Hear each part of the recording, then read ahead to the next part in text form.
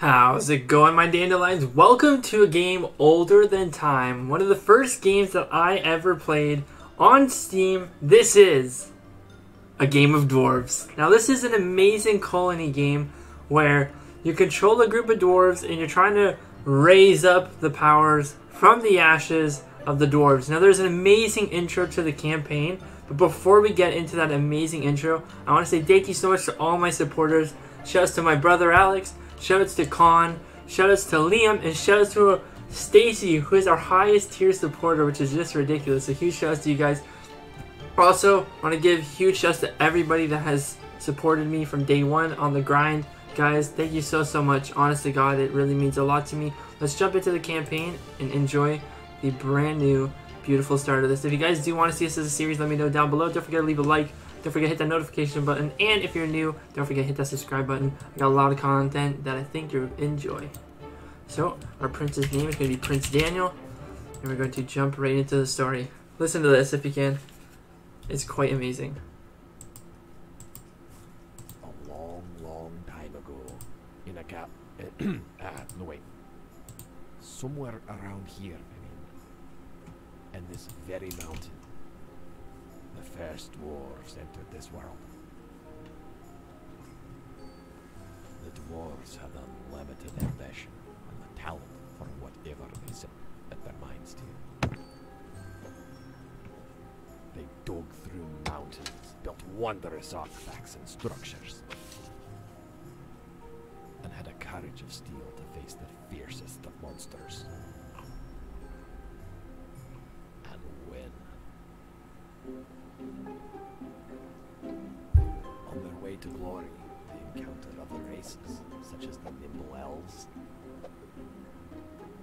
and the mighty dragons.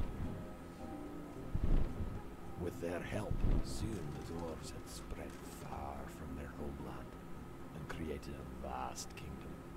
But that was a long time ago, and I was merely ancient back then. In the end, it was due to change. They came from the unknown regions of the north. Mages. The dwarfs had never seen anything like them. They wielded powerful energies called magic and brought with them terrible creatures that seemed to hate the very world itself. Even so, the dwarves offered their hand in friendship. But the mages had no such intentions. They struck out against the dwarves, and soon the great dark magic war had begun.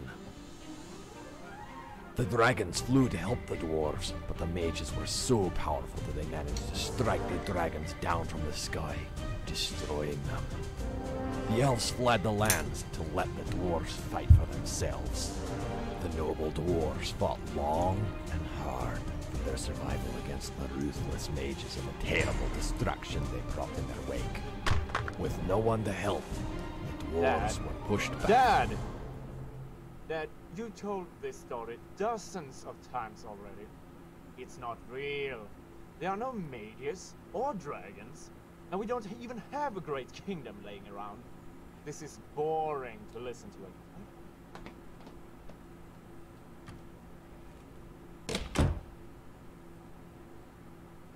But soon, the dwarves will rise again, and they will build a civilization worthy of their stolen glory! Dad, are you talking to yourself again?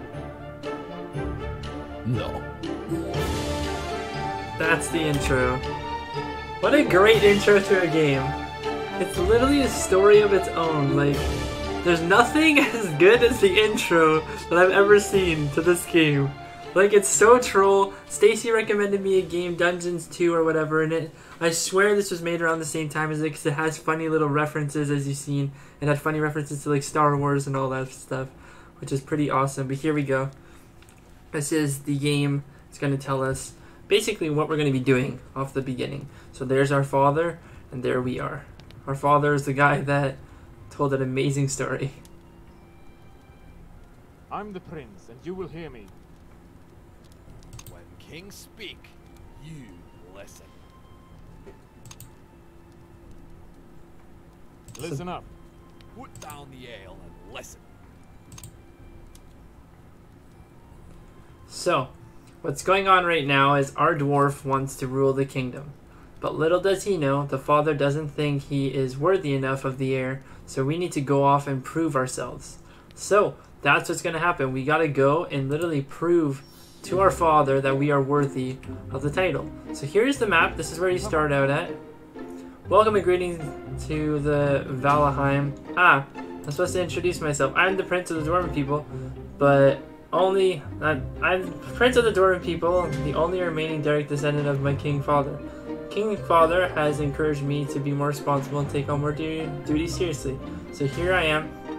Here on out, I will be the head of my own clan. However, I'll not be considered a true clan until we can complete the following things: the trial. We shall look into the lessons King Father has prepared upon us to learn about how to control everything. Just click the lessons button in the lower screen. Besides that, there are two places we can go. The backyard, where we can train in how to control our settlement, and to the trial, where we'll test our mets. Um, we would recommend doing the first thing, the King's Lessons. Basically, it wants us to do the tutorial here before we go here. But here's the map. Quite, quite large for a game of its size. Uh, it looks like there's different kind of monsters and stuff. I've never made it past like literally. I want to say some like at least here. I think I've done this and I played this just for hours and hours way back when. So let's go ahead and do the backyard where we're gonna go ahead and le- learn the game. So let's see what's going on here. So there I What am. must I do for someone to listen to me? All right, here we are. This is a place where the Dormant Calendars practice the thing that undertake the trial. Um, perfect basics is how to rule your own settlement. If you haven't already, we should really look into King Father's lessons on the world map. It explains everything that you need to know how to control. But first, you should focus on training step by step. You should pay close attention to the quest log. It gives detailed information about quests that perform and other things like its level. So, this is our little settlement here, and it tells us little question marks to show us something's in that area. Look around and use both mouse wheels and keyboard, which we're definitely doing. With the mouse, you can just move the cursor and all that fun stuff around to the edge with the camera. With it, you can move with WASD and then D with the camera as well. Um, holding the scroll button with Q and E allows you to turn the angle. Underground is on a flat layer, so you can actually dig up and down, right and left. You can also use R and F to go through the levels, which is actually really cool to know because I uh, forgot which button that was, so let's kind of remember that. Sometimes you want to zoom in and out, just like so. Or you can hit Z and X, it said. So that's pretty cool. So I can actually go ahead and start mining. So let's see. Here in my throne room, a throne, a spawning pool, one dig, one digger dwarf. Really, only one dwarf. To get him to work, we should first select the dig order on that blinking icon down there. Um, okay, and now we should start clicking it to dig it out. Let's practice something. We should at least mine a few blocks. The big black void over there consists of blocks that have not been dug out yet. Uh, mindfully, the blocks here seem uh, intimate and cannot be dug out. So the ones that are full of this kind of ground-looking thing cannot be dug, but the ones that are like this, how they're blank, we can actually go ahead and dig those out. So we're gonna go ahead and dig this way because it wants us to basically do that. So here goes our little dwarf. He's gonna go ahead and dig out this wall. Boom, boom. There we go. Hold on. What is this? So we just dug out an entire area, as you can tell. You went ahead and smashed that. It seems we found a big empty room. And what's that over there? That looks like gold. We should definitely gather some. We should gather materials using the, the dig orders on the block and the juices we can manage to find out. So let's go ahead and set up some dig orders to make sure we get all this gold here. And then I'm actually going to make it so we can go quite a fair few bits out there. So we're going to go like that, and we're going to get a lot of money. This is going to be quite useful. It's going to make him a little bit happy. We have one little miner dwarf, no fighters, none of this stuff up top. I don't know what any of it is, so we're definitely going to have to learn there. Ooh. Ooh. Large cover for great storage. I thought that was something that we can actually use. Alright. Oh no. Oi. Look at this big room. This must be one of those older parts from Hemfort. Did you see the darker color blocks? Do not dig those. If you do, we cannot continue. Darker color blocks. Okay, so I'm guessing he doesn't mean he means the walls. Great digger dwarf, you've earned some well-deserved rest. You do not need to dig anything else for the time being, so let us disable the dig skill. Okay, so he wants us to stop digging. So, our people are tired and they need a best in some place to rest. So we're to click on this. Dwarven queue. Alright, done. Um, order new doors with the button plus the amount of happiness you decide for them to take on arrival. You can also buy some stuff. I would buy some stone. Interesting. Alright, so what should I do now? I think it wants us to go ahead and do something. But I don't know what it wants us to do, so maybe let's ch chat with him. We need beds. So tired so our dwarves can have some rest. Okay, so in order for us to get beds, what do I have to do? Let's kind of figure it out. That just loaded. Oh, okay, we're just letting our guy kind of rest. That's what it was doing. So we're just waiting for that little thing to tick around. Great, the dwarving, dwarfling has arrived. Spawning pool can connect back to Hemsworth. The dwarfling will appear when you order them. Now that we have a dwarfling, we can give him a profession. Dwarflings can be upgraded instantly to, but get free experience over time when they're not upgraded. So let's click the plus icon next to his name. So where is this dwarf? And he should become a crafter. Should be set aside in history forever. Okay. So here comes our new dwarf. Hit the little plus sign. He's gonna become a crafter dwarf. Do do do do. Finally, the dwarf that will be able to do some good. Alright, let's build something useful. Click on the build button. And uh, let's build a dwarven portable bed. You can basically have an area for him to rest. And hold down the left mouse button. And you can rotate items and face the direction that you want. Or you can sell the orders in the case okay. So it wants us to go ahead and build a bedroom here. So I guess we can go ahead here and put a bedroom. How do I rotate it? Oops. Oh, I see, okay. I would like to cancel this one here. Right, um... How does one cancel things is what we need to figure out. What the heck is that? I have no idea what that is. Oh. Oh. Oh, that just duplicated the item. Ah, wow, that's actually really neat. Okay.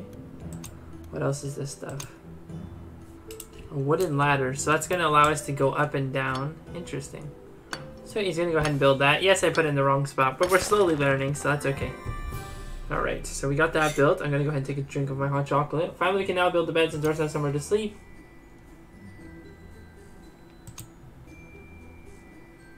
Now we need food. Doors can't surprise, survive without a proper meal. Several things that we need to do in order to get food, but first we should have somewhere for the dwarves to eat. Let's open up the build menu. Alright. So let's go into here and give them a little area to eat. Now, I like the idea of it being kind of in the middle here. So let's see if we can do that.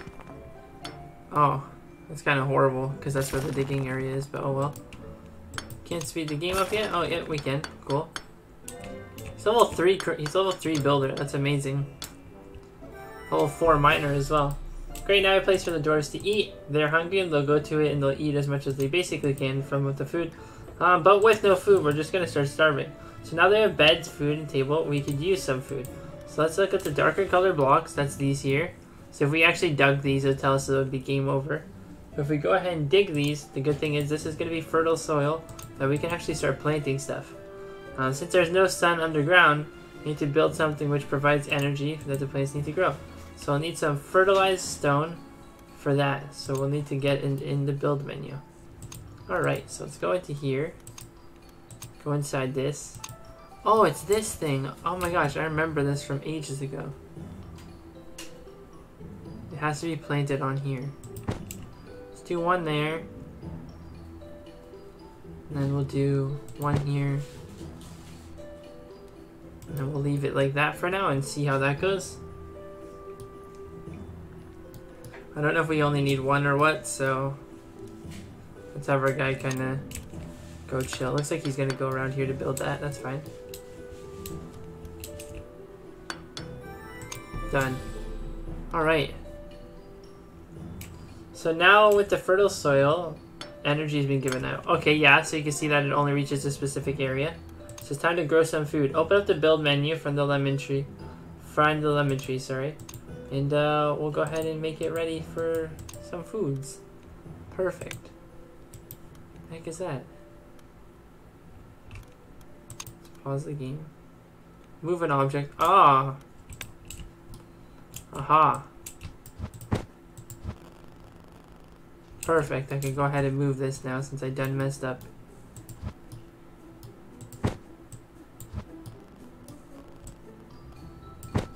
There we go. Perfect. Oh, you know it's not perfect because this needs to move as well. Perfect. Perfect. There we go. We gotta move the beds, which is quite nice. Now it wants us to go into here and click on the little lemon trees. Four there. And four there. Perfect. So finally we can eat, but for some reason, we need a new dwarfling. Alright. So wants us to get a new dwarf. So if we go over here, we can click on this. You get a dwarf in the queue. So that should go ahead and order some new dwarves. So we're kind of figuring out how everything comes together, which is quite nice. So we're learning how to get dwarves. We're learning how to get it so our workers need to sleep, where they need to eat, how to get food so far, and building and mining, and kind of getting things all situated. So there we go. Our dwarfling should be here. And once he's here, we're to hit the plus icon, and we're going to make him into a farmer, I'm pretty sure. Jurhid is here. So Jurhid, you are going to become a worker. I think it wants you to become. So we turned him into a worker so he can start collecting food. So there should be a plus icon on the fertile soil. We'll go ahead and click that and you'll start planting things in this area. Perfect. So this guy joins us and he instantly goes to work. Look at the different arts. Okay, he's like a fat looking little dwarf. Look at this guy. He, got, he, has, he has a pipe, you know. He's got a nice little, he has a nice little tie. We got our little dwarf over here. He looks happy AF, but he also looks hella drunk. Alright, and now we're going to be able to start gathering food, which is going to be quite nice. So we're going to click next, next, next. First we need to move in some protection. So I think it's time for us to order a dwarf that can protect us. So we're going to click on this. Queue up another dwarf here. And this dwarf is going to keep us alive and save us. So I want to kind of see what this little thick looking dude does. So he gathers up some food. Where's our food at? Up there.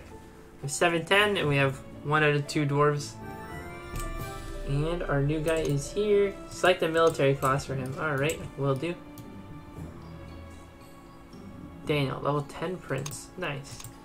Military, gonna cost us 50 food. Voila! Now we can defend our base, it's always good to, for protection. Um, right, so now we can start digging again, because the deeper we go, that is where bad things can possibly be. So I'm guessing it wants us to dig this little area here out. So our little buddy dwarf here is actually going to start his mining journey, because he wasn't able to do that before. You can see here him actually working on doing that. Oh, is that a mole? It is! Alright. Ah, no, it's a beast in there. Everyone stay away from it. Military dwarf, go and kill it. Save me. I mean, us. If I get killed, then it's all over. You must keep me alive. Alright, we have a teleport order. If we click on that dwarf, I don't know where the heck the dwarf is, um, we can place the dwarf somewhere else. For example, if we teleport the military dwarf to a place right on top of the monster, okay, military dwarf, how do I teleport you?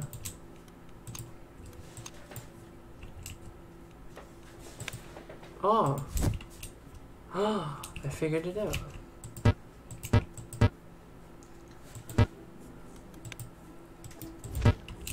Okay, there we go. I figured it out.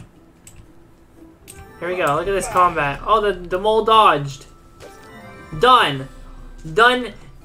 Deckled him. He got God, Alicia. Damn near one smack that mole. It's like this. I'm a mole. And my guy's like, yeah? Well, I got steel axe. Eat this. Huh. And the mole went poof. KO. Done. It's dead. It's dead, I mean.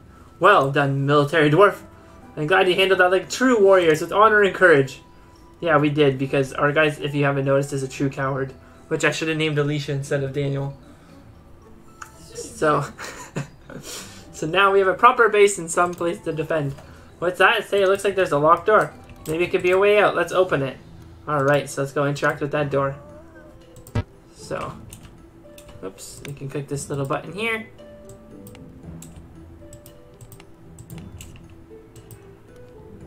Do I do? How do I do this? Is that gonna work? No? Try pulling it.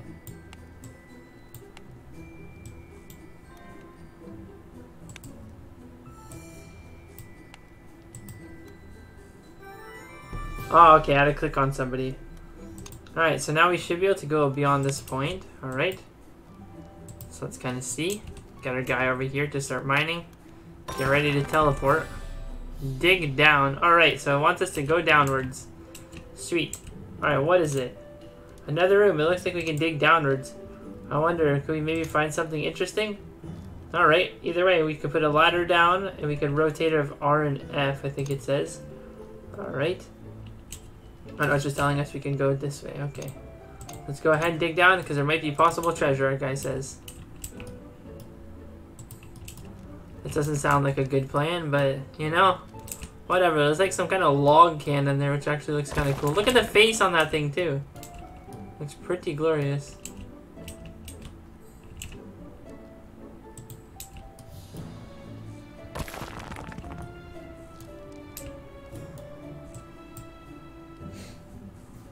Alright, I don't know where I'm supposed to go, because I don't think I can actually dig through this little floor here.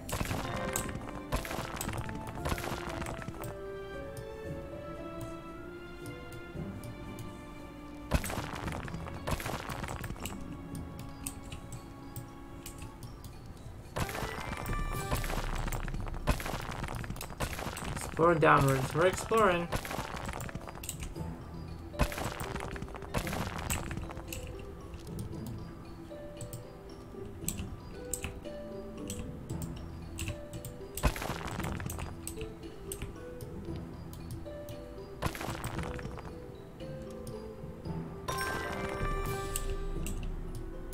Ah, okay. There it is. It's a treasure chamber. But where's the treasure? Is there treasure even here at all? Alright, there's a table over there with the dwarven message written on it. Should interact it to see if it's worth anything. Okay. So let's interact with this. Contains important information.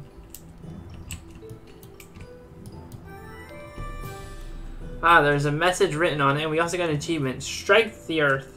The message is written on it. Dear Prince, if you're reading this, then well done. You've proven that you know which way to properly know your people. Treasure for you now is you're ready to go complete the trial. With love, King Father. Grr, fine. Dwarves, when we're ready, we should go back to the world screen. Stupid father. One day I'll show you. It doesn't mean we won't be worth much more here, but we can leave the area now and head back whenever we're ready. So, we're going to click on the map, and we're going to return to the world and that is going to be the basic tutorial completed, which is pretty good. We did everything in it that is necessary, so we got a lot of influence, which is really, really good for our character. So guys, it is time for us to continue on the journey. But, before we go here, I would like to say Thank you so much for watching. My name is Daniel. Hopefully you enjoyed it. If you did, don't forget to leave a like, comment, subscribe, all that fun stuff down below. If you want to join us and become a member, there's a link in the description. If you want to support us even further, there's a PayPal link in the description. And if you're interested in buying some merch, there's a link for all that as well. But like always, what do we say, Alicia? Peace!